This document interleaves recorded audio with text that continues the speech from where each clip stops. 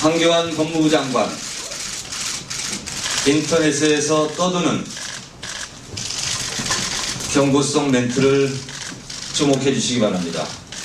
황교안 황당하고 교활한 안목을 버리고 원세훈 전 원장을 선거법과 국정원법으로 구속수사해야 한다 하는 여론입니다.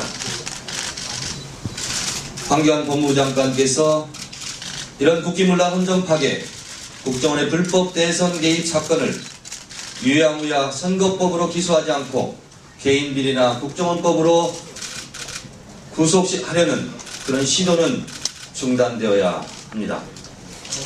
박근혜 대통령에게 요구합니다.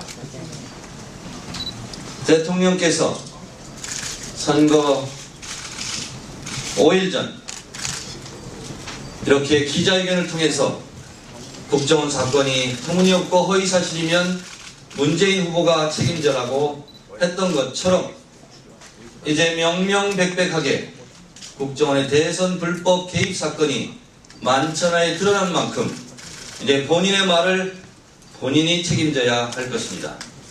박근혜 대통령께서는 국정원의 명백한 부정 불법 대선 개입 사건에 대해서 본인이 어떻게 책임질 것인지 하루속히 입장을 밝혀주실 것을 촉구합니다.